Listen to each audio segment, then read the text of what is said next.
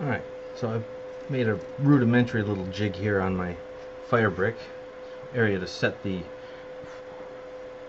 the piece in so everything can lay flat. And then I just set my other piece in and line everything up nice. Yeah, that's pretty nice.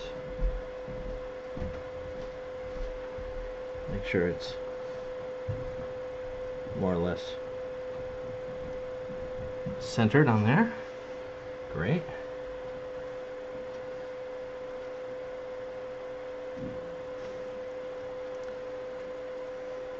I'm going to put a little flux. I use borax. This is a nice ceramic dish. I'd use a borax cone in if I were doing that.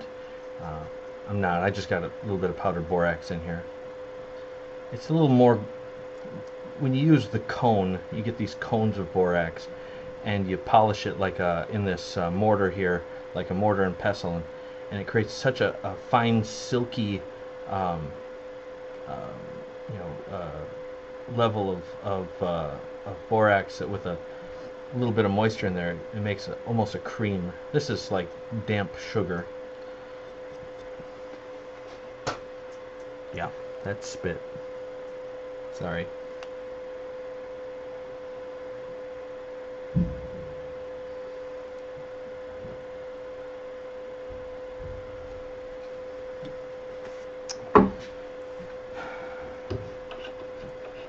Professional would say that your goal should be to use as little flux as possible, and that's why they come up with all of these high-tech fluxes that emit massive quantities of fluorides, things like that.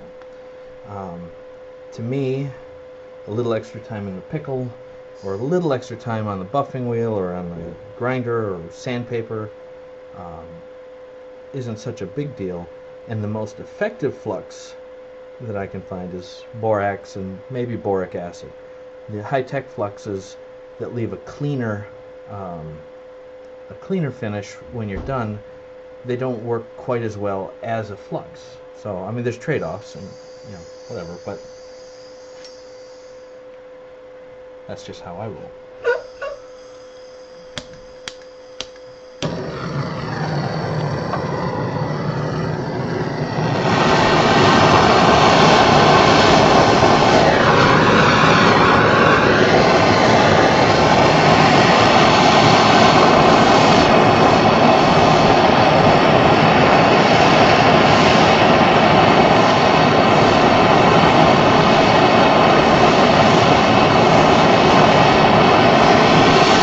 to whatever extent you can hear me over the port, the goal again is to keep the heat off of that existing joint. So I'm bringing the heat in from this side first, and then at the last minute I'll dip over and, and finish up the temperature that I need on, on the bone piece, the spar.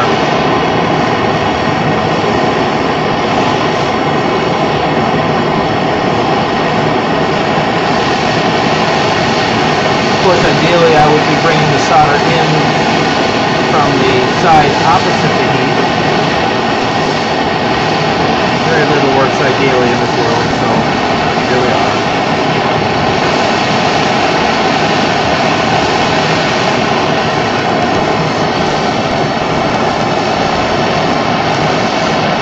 Oh, that clay does not like the heat. Alright. The round piece is glowing.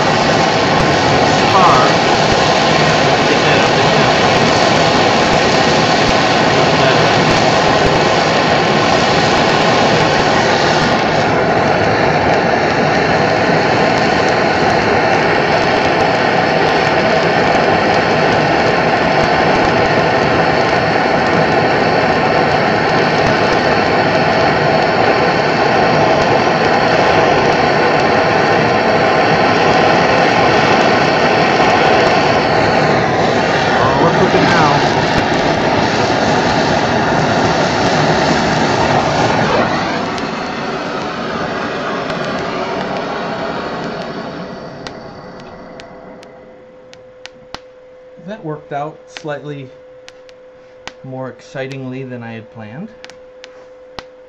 Uh, functionally, it seems to have worked.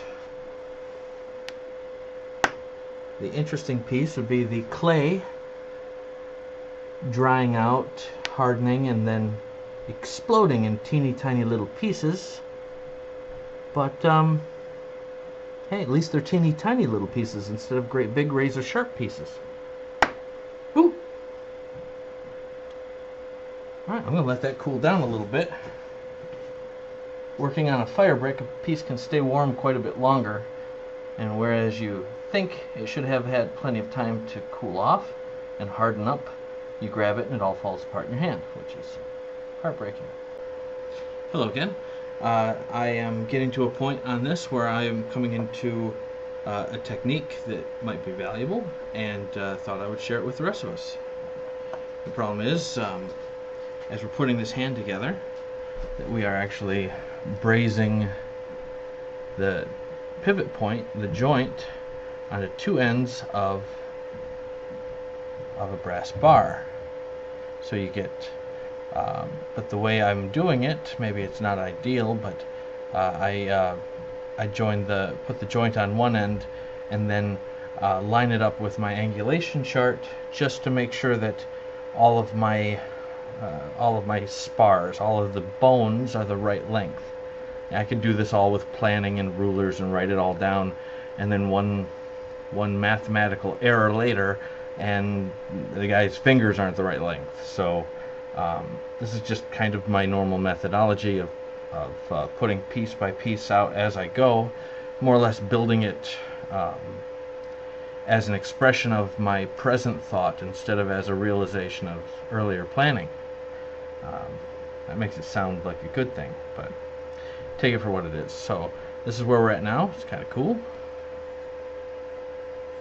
These are the four metacarpals, each with the half of a knuckle joint here. The barrel on the bottom.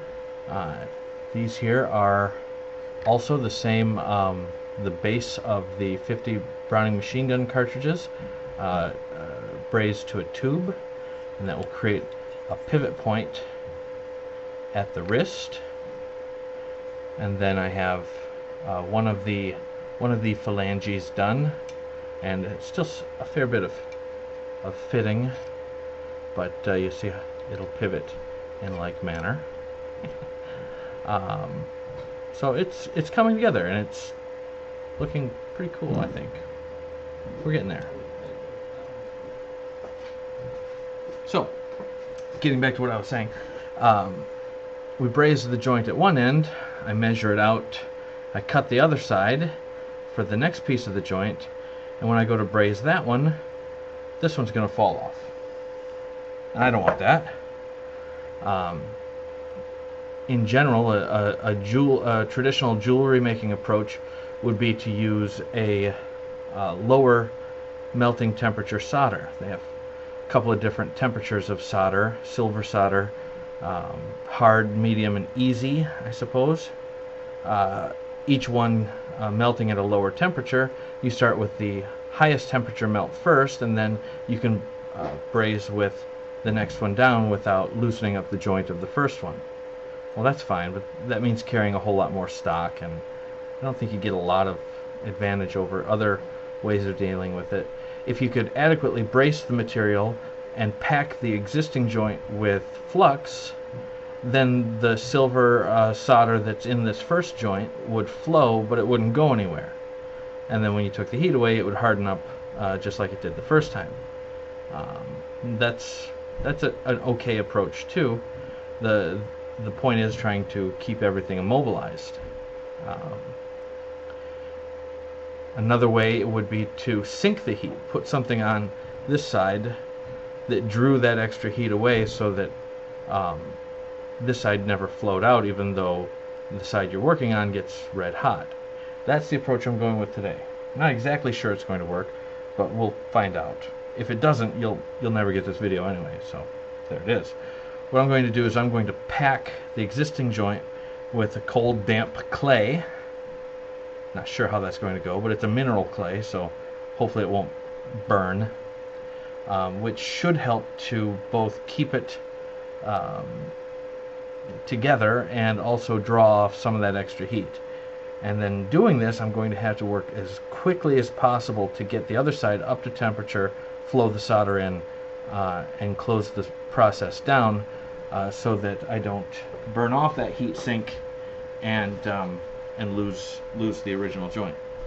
Worst case scenario, I got to grind every, uh, uh, take all the, the pieces all come apart, and I have to go clean them up and resolder them. So it's not a big loss, but in the in the realm of all of these pieces having to do it over and over and over again, yeah, that'd be a big pain. So